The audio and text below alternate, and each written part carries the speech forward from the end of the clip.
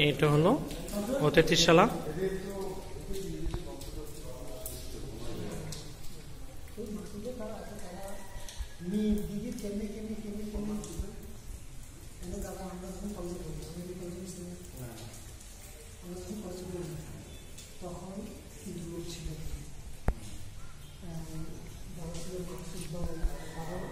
ছিল ছিল অতিথিশালার চতুর্পাশে ঠিক এইভাবে বিভিন্ন কুটরি আছে। এটাকে কুটরি বলব অথবা রোম বলা যাবে।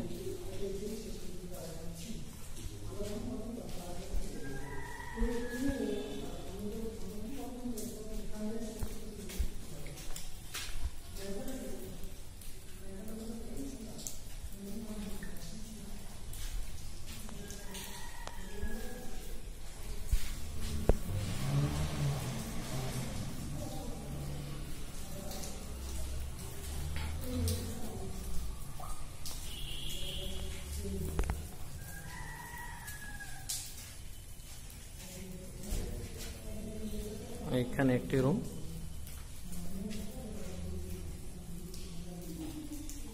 এখানে অসংখ্য রুম আছে। অবশ্য অনেক সময় বুঝাও যায় না কোন রুম থেকে কোন রুমে যাচ্ছে। হ্যাঁ, একটি কথা বলে রাখি দেখেন ঠিক তৎকালীনও টাইলসের ব্যবহার ছিল। এটি একটি ওয়াশরুম। তখনও যে বেসিন ছিল, আমরা বেসিন দেখতে পাচ্ছি। কি সুন্দর বিভিন্ন সিরামিক্সের কাজ, সিরামিক্সের দিয়েই মূলত এই টাইলসগুলো করানো। অত্যন্ত সুন্দর। এটি হলো একটি ওয়াশরুম। আমরা যাচ্ছি আরেকটি রুমে। এটা তাদের এই বাথরুম ভিন্ন রকম। আর এটা হলো পিছনের অবস্থা। পিছনে এটি মনে হচ্ছে যে বারান্দা। বারান্দার মতোই মনে হয়।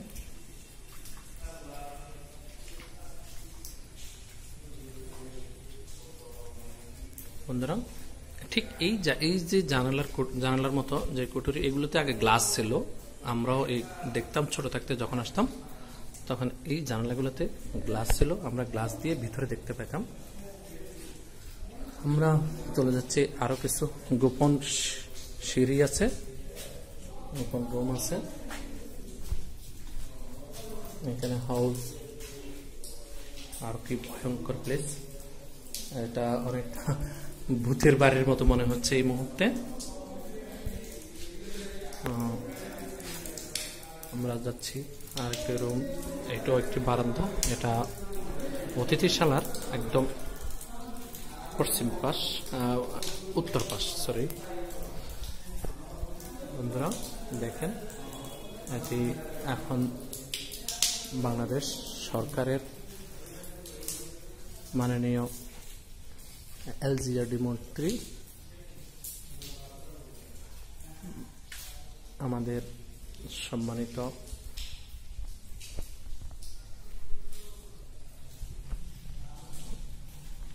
আমাদের এমপি তাজুল ইসলামের একান্ত তত্ত্বাবধানে এটি এখন সংস্কারের দিকে যাচ্ছে। আশা করি খুব শীঘ্রই আমরা এটিকে একটি জাদুঘর হিসেবে দেখতে পাবো।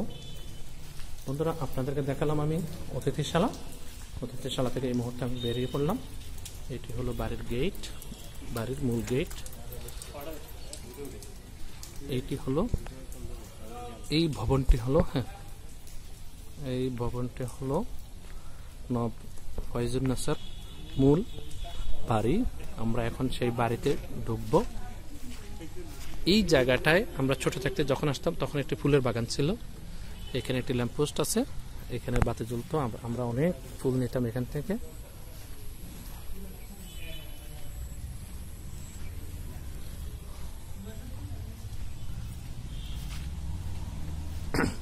আমরা ধীরে ধীরে এগিয়ে যাচ্ছি।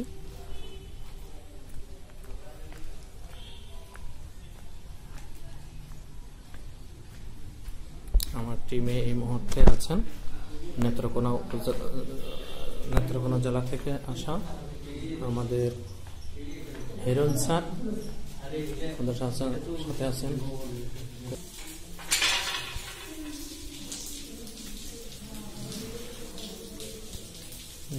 পিছনে একটি ভবন দেখতে পাচ্ছি। এখানে এই বাড়ির পিছনের অংশ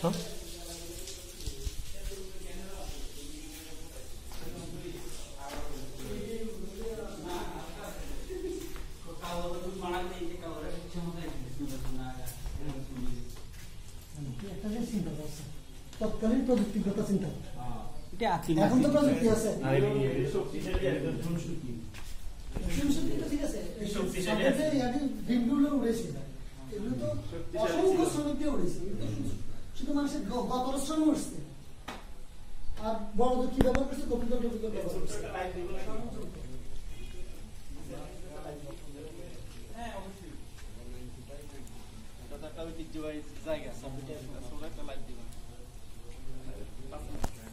আমরা যাদেরকে বলে থাকি, তো তাদের যে ভালোবাসা তাদের যে আন্তরিকতা, নিঃসন্দেহে এটা দেখার বিষয় এবং আপন স্যার খুব সুন্দর করে বলেছেন যে তিনটি উপজেলার অ্যাম্বাসেডার শিক্ষকবৃন্দ কিন্তু অলরেডি এখানে আছেন। শুধুমাত্র একটাই যে আমি নেত্রকোনা থেকে আসছি। শুধু আমি নই, আপনার বাংলাদেশের যে কোনো শিক্ষক বাতায়নের সদস্য যদি যে কোনো সদস্যের এলাকায় যান, প্রত্যেকে এভাবে নিবেদিত হয়ে ছুটে চলে আসেন। তো এটা একটা অবশ্যই অনেক বড় পাওয়া, বিশেষ করে শিক্ষক হিসেবে পাওয়া, এবং এটার সম্পূর্ণ কৃতিত্ব আমাদের প্রাণপ্রিয় এ টু কারণ এ টু তত্ত্বাবধানে এ টু এটি একটা সময় আমরা ছোট থাকতে দেখলাম, এটি ছাত্রাবাস হিসেবে ব্যবহার করা হয়েছে। এই বাড়ির নব ফয়জুন নাসার। বংশধর কামরুল কামরুল ভাইয়ের মেয়ে যখন আমাদের সাথে পড়তো, তখন আমরা এখানে আসতাম এবং এই এই একটি ছাত্রাবাসে আমরা প্রায় সময় আড্ডা দিতাম। এখানে কলেজের নব ফয়জুন নাসার সরকারি কলেজের অনেক স্টুডেন্ট থাকতো, আমরা এখানে এসে আড্ডা দিতাম। এটার অবশ্য পুরো রহস্যটা আমি জানি না। এখানে মূলত এই রুমগুলো কেন করা হয়েছিল? তবে আমরা আমাদের জ্ঞানে আমি যতটুকু দেখেছি, এটা হলো ছাত্রাবাস হিসাবে ব্যবহার করা হয়েছে। তো বন্ধুরা ভবনটি সংস্কার কাজ শুরু হচ্ছে বাংলাদেশ সরকার, বাংলাদেশ সরকারের প্রত্নতাত্ত্বিক অধিদপ্তর থেকে এটার প্রায় দশ কোটি টাকা বরাদ্দ করা হয়েছে। এটাকে সংস্কার সংস্কার করবে এবং আমরা এখানে দুজন প্রত্নতাত্ত্বিকের কর্মচারীকেও দেখতে পেয়েছি। তারা এখানে আছেন। তারা আমাদেরকে যেটা জানালেন যে এই ভবনটি যদি সামান্য একটু সংস্কার করা হয়েছিল, কিন্তু এখানে এই সংস্কার কাজটি ভালো ছিল না। এটিকে এখন বাদ দিয়ে নতুন করে আবার সংস্কার কাজে দায়িত্ব নিয়েছেন এবং নতুন করে আবার শুরু করবে। তো ভবন মূলত এখানে অসংখ্য এটি হলো অতিথিশালা আর এটি হলো ফয়জুন্নেসার অরিজিনাল বাড়ি আর এটি হলো বাড়ির সদর দরজা বা গেট।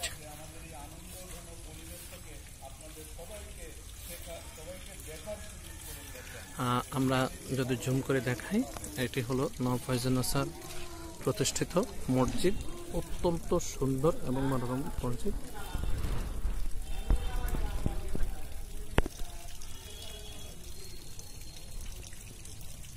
হুম একদম একদম শুরু থেকে এটা।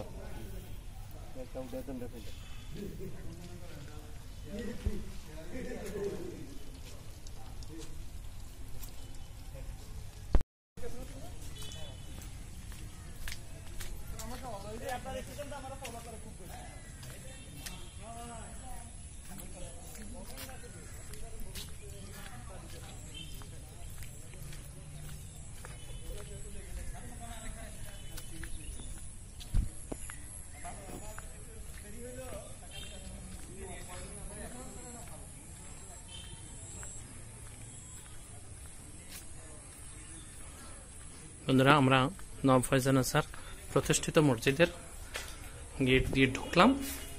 এখানে একটু পরিবর্তন করা হয়েছে। পরিবর্তন বলতে জাস্ট এই সামনের অংশটা একটু বর্ধিত করা হয়েছে, যেহেতু মসজিদটা ছোট, একটু একটু বর্ধিত করছে।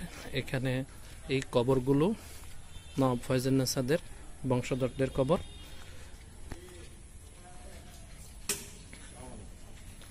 ওয়ালাইকুম আসসালাম।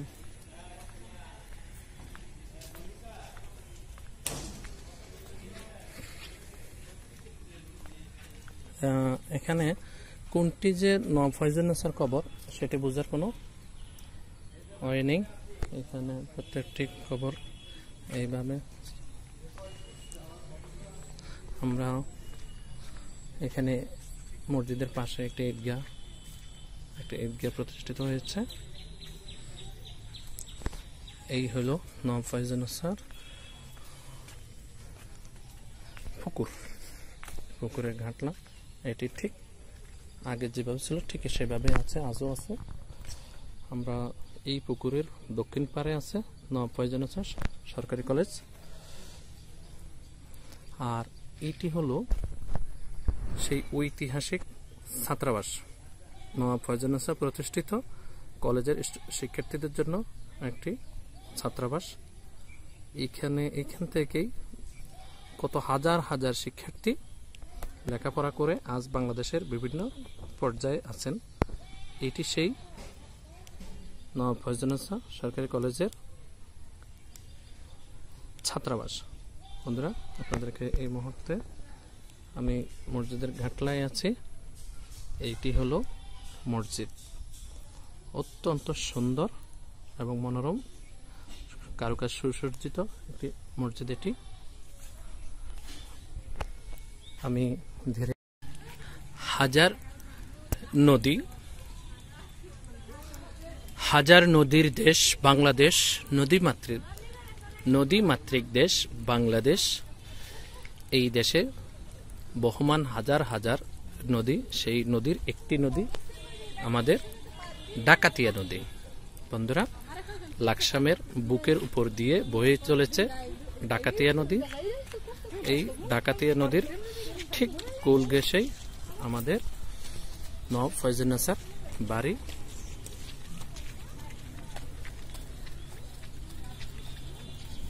আর এই ডাকাতিয়া নদীর একদম এইটি সে ডাকাতিয়া নদী, বহমান ডাকাতিয়া নদী। ডাকাতিয়া নদীর কোল গেসে শতবর্ষে প্রতিষ্ঠিত। সে নব ফয়জুন্নেসা বাংলার মহেয়সী উপমহাদেশের মহেয়সী নারী, উপমহাদেশের মহেয়সী নারী, শিক্ষাবিদ, একজন বিদ্যুৎসাহী নবাব ফয়জুন্নেসা কর্তৃক প্রতিষ্ঠিত সরকারি কলেজ। আমরা এই মুহূর্তে সেই নবাব ফয়জুন্নেসা সরকারি কলেজে প্রবেশ করতেছি।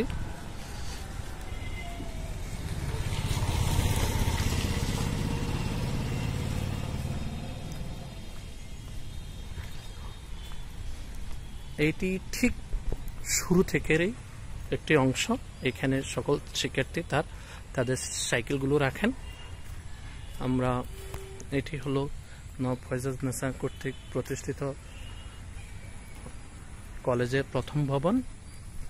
এখানে মূলত সকল কনফারেন্সগুলো হয়ে থাকে। এখন পরিস্থিতি একটু অন্যরকম।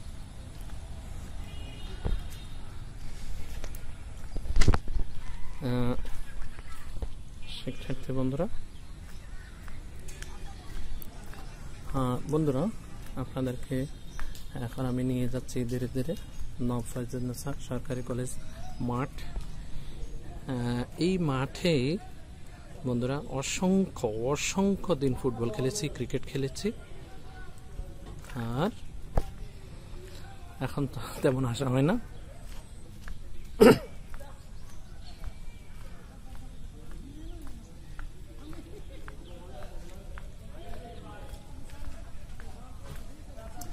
এটি হলো সেই স্মৃতি বহন করতেছে আজও। নব ফয়জুন্নেসা সরকারি কলেজের, এটি ছিল দ্বিতীয় গেট এখান দিয়ে দ্বিতীয় গেট ছিল।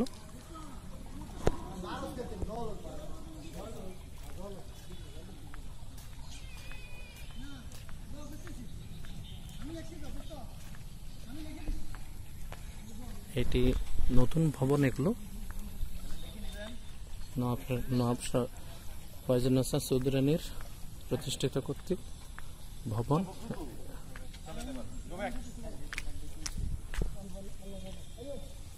ইউটিউব চ্যানেলে দিব এটা।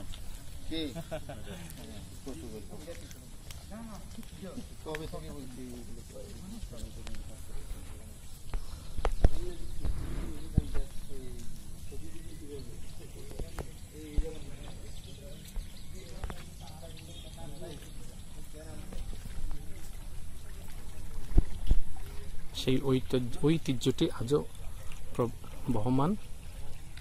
আজও সেই ঐতিহ্যটি আছে, যদিও এর পাশে সুন্দর ভবন প্রতিষ্ঠিত। তথাপি ঐতিহ্যটি এখনও